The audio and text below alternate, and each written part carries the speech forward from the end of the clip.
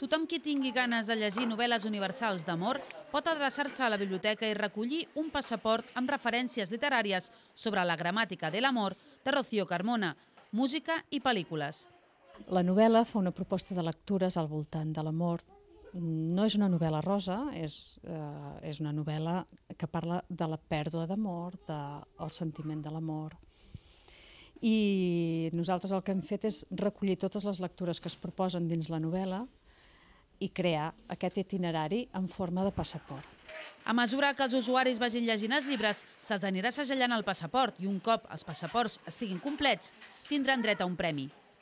L'objectiu del projecte és fomentar l'hàbit lector i el gust per la lectura entre els joves i alhora donar a conèixer autors i llibres clàssics dins la literatura universal.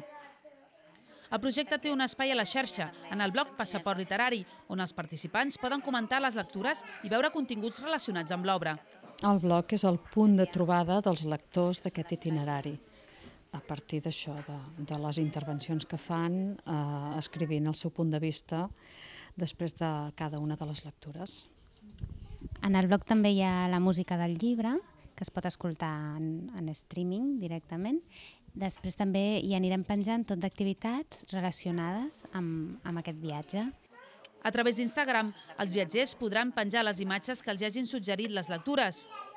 El projecte també ha organitzat una trobada aquest mes entre els lectors i l'autora Rocío Carmona.